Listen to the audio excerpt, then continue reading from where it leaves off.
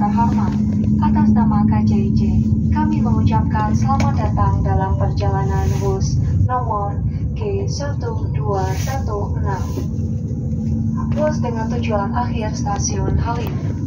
Perjalanan ini merupakan perjalanan bebas asap rokok. Bagi penumpang yang kedapatan merokok, akan dikenakan sanksi sesuai dengan ketentuan yang berlaku.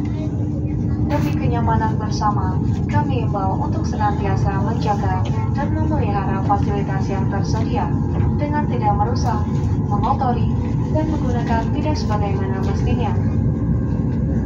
Tersedia stop kontak di antara celah kursi yang dapat digunakan untuk mengisi daya perangkat Anda seperti handphone, tablet, dan laptop. Selamat menikmati perjalanan Anda.